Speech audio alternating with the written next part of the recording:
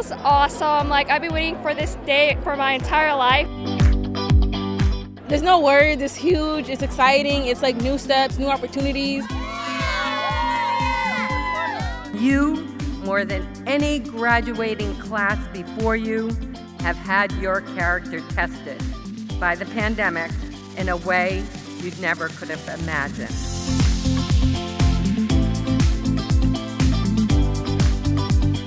Exciting. I'm a first generation student, and so like being, I'm very proud of the fact that I'm actually able to cross the stage and celebrate with my friends and family afterwards.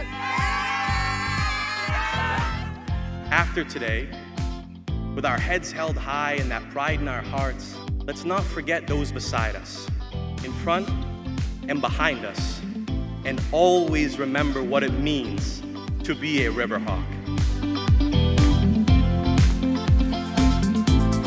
Let us remember the pillars that UMass Lowell has instilled in us adaptability, resilience, and determination. It is now time to celebrate our hard work. Congratulations again, class of 2022!